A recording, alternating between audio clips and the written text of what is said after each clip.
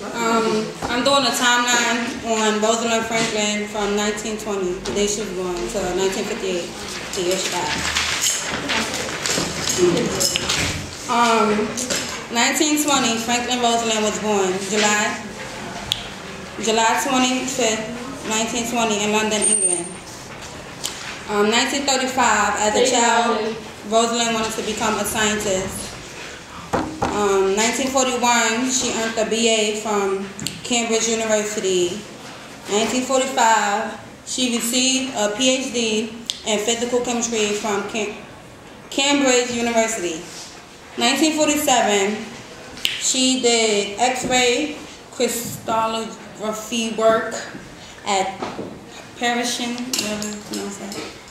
Thingy, yeah, that.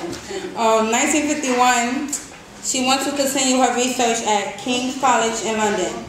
1952, she with the 1952 with the phot photography 51, she captured the B form of DNA.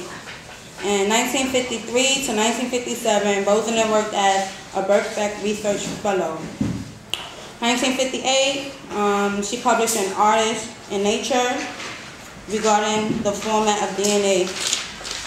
And later on in the year 1958, Rosalind Franklin died of ovarian cancer at age 37.